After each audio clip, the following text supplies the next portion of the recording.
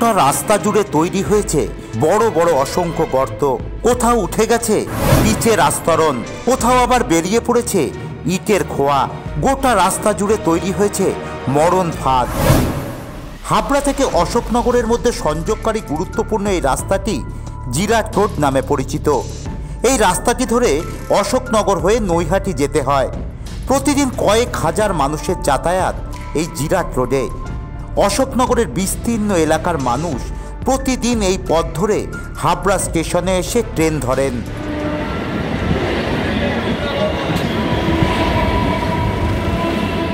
গুরুত্বপূর্ণ এই জিরাট রোডের বেহাল দশা বেশ কয়েক মাস ধরে চললেও হেলদোল নেই প্রশাসনের। এমনটাই অভিযোগ পথচারী থেকে যান চালকদের।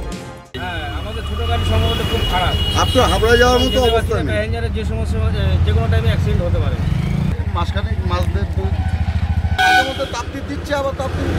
রাস্তাটি সংস্কারের দাবি জানিয়ে দিনের পর দিন প্রশাসনের দ্বারস্থ হলেও মেলেনি সুরাহা। এমনকি পিডব্লিউ ডিপার্টমেন্টে অভিযোগ জানিয়েও রাস্তা সংস্কার কবে হবে তার সদুত্তর পাননি ভুক্তভোগীরা। দিনের পর দিন রাস্তার বেহাল দশা ক্রমেই বেড়ে চলেছে।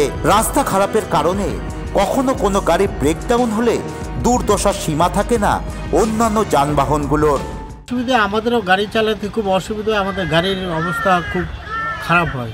এটা প্রশাসনের অবশ্যই এটা করা উচিত। প্রশাসনও শুনছে, দেখছে, কিন্তু কাজে সেটা কিছুই করছে না। হাবড়া শহরের এক নম্বর রেলগেট থেকে প্রায় তিন কিলোমিটার রাস্তা কোনোভাবেই চলাচলের পক্ষে উপযুক্ত নয়, এমনটাই দাবি করেছেন স্থানীয় বাসিন্দারা। তাদের দাবি, অশোকনগর কচুয়া মোড় থেকে হাবড়া পর্যন্ত এই জিরাট রোডের অবস্থা খুবই শোচনীয়। দেখছে তো, চারদিকে গাড্ডা, এই পাশ, ও পাশ, এ পাশ, ও পাশ, আস্তে আস্তে গাড়ি হেলতে দুলছে। কখন গায়ের উপরে চলে আসবে? যে এদিকে, ওদিকে এদিকে, ওদিকে, চাকা তো কাল হয়ে গেছে এই পাশে। ঠিক লানন্দা মোড়ের সামনে, এই পাশটায়, ওই পাশটায়। চারিদিকে এপিস অফিস ঠিক করে আমাদের গভর্নমেন্ট তাহলে তো ভালোই হয়, একটু আমাদেরও সুবিধা হয়। হাবড়া অশোকনগরের সংযোগ স্থাপনকারী এই গুরুত্বপূর্ণ রোডটির বেহাল দশা নিয়ে ক্ষোভ উগড়ে দিয়েছেন অশোকনগরের সিপিএমের প্রাক্তন বিধায়ক সত্য সেবিকর তিনি অভিযোগ করেছেন, এলাকার একাধিক রাস্তার পাশাপাশি জিরাট রোডটির সংস্কারে যথেষ্ট গাফিলতি রয়েছে শাসক দলের। কিন্তু সব মানুষের, পাড়ার মানুষেরও জিরাট রোড ব্যবহার করতে হয়, কারণ আমাদের এখান থেকে হাবড়াটাও যেরকম খুব গুরুত্বপূর্ণ, নানান কারণে ব্যবসা, বাণিজ্য, দোকানপাট এবং একটা বড় অংশের লোক হাবড়া স্টেশন থেকে ট্রেন ধরেন, আর বেশিরভাগটা ধরেন অশোকনগর স্টেশন থেকে। গোটাটা মানে এরকম বিপজ্জনক পরিস্থিতি। একটা বেহাল বললেই শেষ কথা হলো না, বিপজ্জনক। কতগুলো যে দুর্ঘটনা হয়েছে, তার মধ্যে কোনো সীমা পরিসীমা নেই। ছ মাস একটা রাস্তা টিকছে না, সরকারের কি পয়সা বেশি হয়েছে? নাকি মানুষের পয়সা দিয়ে সরকার কাজ চালাচ্ছে না? তাহলে কীভাবে পয়সাগুলো অপচয় হচ্ছে? এবং এই অপচয়ের একটাই কারণ হচ্ছে কাটমানি। সেই জন্য কাজ যেটা হবে, সেই কাজটা যেন কাজের মতো হয়। এইটাই হচ্ছে আমাদের দাবি। আমরা পূর্ণাঙ্গ সংস্কার চেয়েছি। সিপিএমের প্রাক্তন বিধায়ক সত্য সেবিকরের অভিযোগকে মানতে চাননি অশোকনগর কল্যাণগড় পুরসভার চেয়ারম্যান প্রবোধ সরকার। তিনি দাবি করেছেন, তৃণমূল ক্ষমতায় আসার পর সার্বিক উন্নতি হয়েছে অশোকনগরের। একটা রাস্তা হওয়ার পরে একটা বর্ষা যদি যায়, ভারী গাড়ি যদি যায়, কিছু রাস্তা নষ্ট হবেই। বিরোধী বলার তা বলছে, তার তো সুযোগ কিছু নেই কাজ করার। এটা বলার সুযোগ বলেছে। ওরা ভাবে রাজনীতি করে পতাকা লাগিয়ে একটা ছবি তোলার জন্য, আমরা ভাবি মানুষের জন্য। একটা ওয়ার্ডে অন্তত পঞ্চাশটা, ষাটটা করে রাস্তা আছে। তেইশটা ওয়ার্ডে করে রাস্তা জানে ওরা? জানে না বলে। এবং আপনারা ঘুরে দেখুন পিডব্লিউডিটা গভর্নমেন্টের রাস্তা আমি হাত দিচ্ছি না। মিউনিসিপালিটি যে রাস্তাগুলো চার চেয়ারে ঘুরে দেখেছে, আমাকে বলবেন, ভালো কি মন্দ।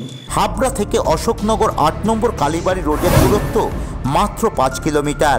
স্বাভাবিক অবস্থায় এই দূরত্ব অতিক্রম করতে ষোলো মিনিট লাগলেও রাস্তার বেহাল দশায় গন্তব্যে পৌঁছাতে সময় লাগছে প্রায় এক ঘণ্টা। গাড়ি চালকদের মধ্যে ক্রমেই বাড়ছে ক্ষোভ।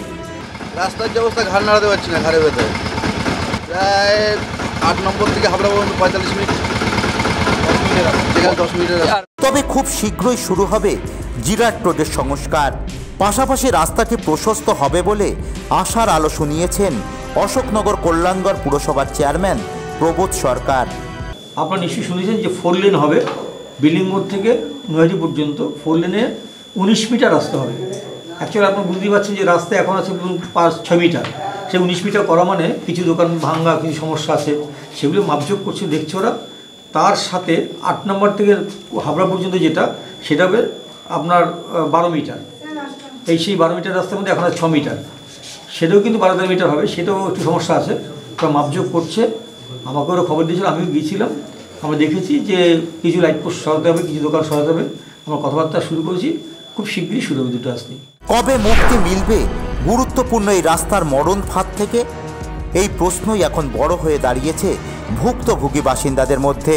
প্রশাসনিক তৎপরতায় কবে স্বাভাবিক স্বাস্থ্য ফিরবে জিরাট রোডের? এখন এটাই দেখার বিষয়।